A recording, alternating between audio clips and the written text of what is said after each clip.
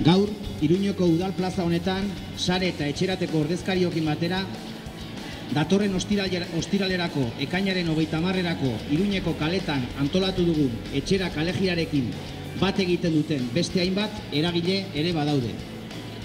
Alegría de Iruña, Aldapa, La Única, La Jarana, El Bullicio, Armonía Txantreana, Irrintzi, Mutiko, Sanduzelai, Rotxapea eta San Fermin Peñen ordezkariak esate baterako. Edo eta ELA, LAB, SK, Esteilas, IRU, CNT, CGT eta N sindikatuen ordezkariak. Eta baita ere, alde zarreko gazte mugimenduko ordezkariak Matalaz eta Zabaldi beste askoren artean. Eta baita ere, kale jiran parte hartuko dutenetako batzuk baita ere.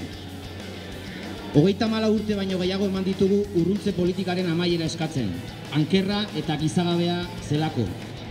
Baina urruntze politika hori gainditzeak ez du berekin ekarri Euskal Presoen eskubideen urraketaren amaiera.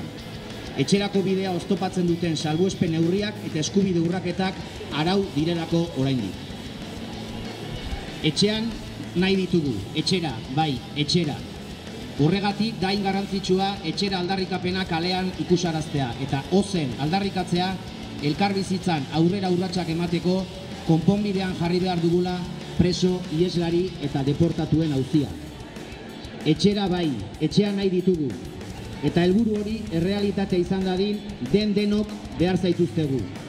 Zentzu honetan, datorren ostiralean, arratsaldeko sortzietan, sarasate pasealekutik abiatuko den etxera kale jiran, parte hartzeko deialdia luzatu nahi diogu iruñeko jendarteari. Kale jiran zehar, joaldunak, DJa, txaranga, txalapartariak, Mila eta Idoia Joterak, Mintxo eta Martin Bertxolariak eta Fermin Valentzia hariko dira bestea beste. Animatu beraz, zatoz gurekin ostiral honetan eta bete ditzagun iruñeko kaleak festa eta aldarrikapenez. Eskerrik asko denei, denak etxera.